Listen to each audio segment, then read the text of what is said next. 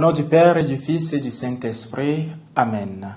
Esprit Saint, Esprit de Dieu, délivre-nous de la servitude du monde et donne-nous d'aimer et de rechercher les réalités d'en haut. Amen.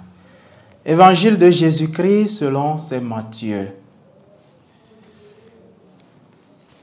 En ce temps-là, Jésus disait à ses disciples, Nul ne peut servir de maître. Ou bien il haïra l'un et aimera l'autre, ou bien il s'attachera à l'un et méprisera l'autre. Vous ne pouvez pas servir à la fois Dieu et l'argent. C'est pourquoi je vous dis, ne vous souciez pas pour votre vie de ce que vous mangerez, ni pour votre corps de quoi vous le vêtirez. La vie ne vaut-elle pas plus que la nourriture et le corps plus que les vêtements Regardez les oiseaux du ciel. Ils ne font ni semaille ni moisson. Ils n'amassent pas dans des greniers et votre Père céleste les nourrit. Vous-même, ne valez-vous pas beaucoup plus que? Qui d'entre vous, en se faisant de soucis, peut ajouter une coudée à la longueur de sa vie? Et au sujet des vêtements, pourquoi se faire tant de soucis? Observez comment poussent les lits des champs. Ils ne travaillent pas. Ils ne filent pas.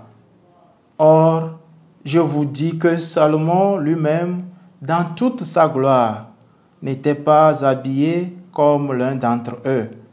Si Dieu donne un tel vêtement à l'herbe des champs, qui est là aujourd'hui et qui demain sera jeté au feu, ne fera-t-il pas bien davantage pour vous, hommes de peu de foi Ne vous faites donc pas tant de soucis, ne dites pas qu'allons-nous manger, ou bien qu'allons-nous boire, ou encore avec quoi nous habiller? Tout cela, les païens le recherchent.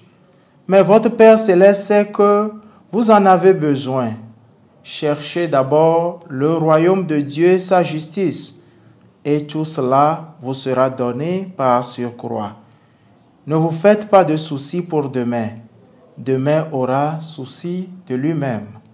À chaque jour suffit sa peine. Acclamons la parole de Dieu. Chers frères et sœurs, nous sommes le samedi 22 juin samedi de la onzième semaine du temps ordinaire de l'année liturgique B. De nos jours, la seule chose qui semble octroyer un peu de dignité à l'homme, c'est le matériel, en particulier l'argent. C'est ainsi que dans nos familles, dans nos lieux de travail, même dans nos églises, seul le riche a des fois droit à la parole. Et il a raison de tous. Combien de fois, parce que nous sommes matériellement pauvres, nous ne pouvons même pas intervenir dans les réunions, que ce soit les réunions familiales, même à l'église des fois. Cependant, dans l'évangile de ce jour, Jésus exclut de manière radicale un quelconque compromis entre lui et Mammon et la possession de ce monde.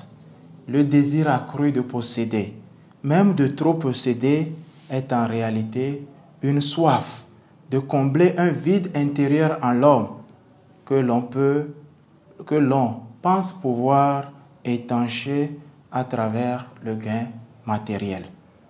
Jésus nous rassure que Dieu le Père a souci non seulement spirituel, Jésus nous rassure que Dieu le Père a le souci non seulement spirituel, mais aussi matériel de l'être humain qu'il a voulu un peu moindre qu'un Dieu, le couronna de gloire et d'honneur.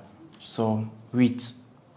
Loin de nous encourager à la paresse, Jésus nous rappelle la confiance en la providence de Dieu qui doit accompagner nos efforts quotidiens.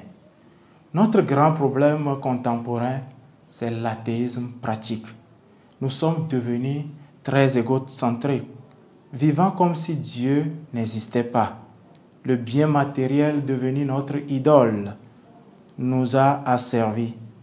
Et au lieu de nous aider à la charité envers le frère, nous aide plutôt à dominer le frère. parce que nous nous croyons omnipotents. Nous avons trop de pauvreté matérielle dans le monde. Pas parce que nous n'avons pas assez pour tous, mais en fait parce que nous en avons de trop. Puisse le royaume de Dieu et sa justice donner le vrai sens à notre être et à nos possessions. Amen. Le Seigneur soit avec vous et que Dieu Tout-Puissant vous bénisse, le Père et le Fils et le Saint-Esprit. Amen.